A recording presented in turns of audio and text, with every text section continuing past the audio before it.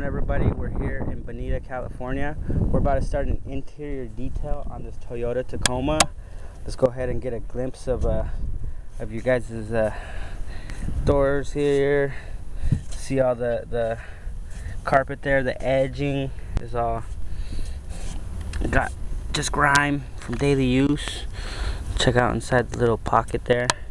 See that there's some crust building up on the bottom check out the uh, right here by the shifter all those little like soda or whatnot that's been spilled.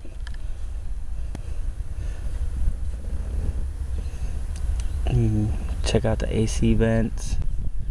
Notice that they're uh, just a bunch of dust from uh, from daily use of the vehicle. Um, we have a few stains on the uh, seat from just spillage of whatever.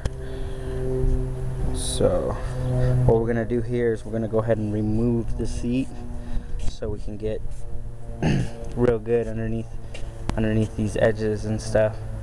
So we'll get back to you guys in a few minutes or uh, about an hour, hour and a half to uh, show you guys the after results.